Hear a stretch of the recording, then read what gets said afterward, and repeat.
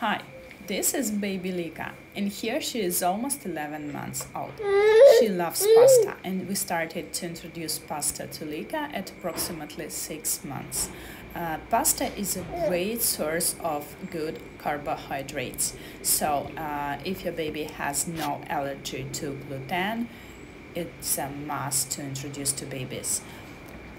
Here Lika eats whole grain wheat rigatoni. This form of pasta is very comfortable for babies to take by hands. Under one year, it's recommended to use um, uh, such kind of uh, forms of pasta, not spaghetti or tagliatelle, which are long and uh, not comfortable for them yet. And I serve uh, separately uh, pasta and sauce. For sauce, I use uh, mussels, tomatoes, and some vegetables and fish.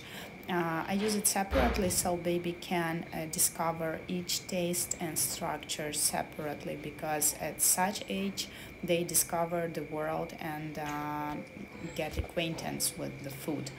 Uh, we help Lika to eat sauce uh, with spoon because in her 10 and a half months uh, she can't um, eat by spoon herself so we have to help her and to make your meal uh, more balanced I also added uh, some sauteed pumpkin. Uh, it's a kind of uh, additional vegetable and a dessert for her.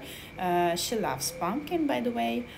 Uh, so you may add any fruits or vegetables just in addition to pasta and sauce uh, and if your baby loves pasta, you may also buy uh, not only wheat pasta, but for example, from uh, other cereals, from um, lentils, uh, etc. So it's the best way to introduce carbohydrates for baby.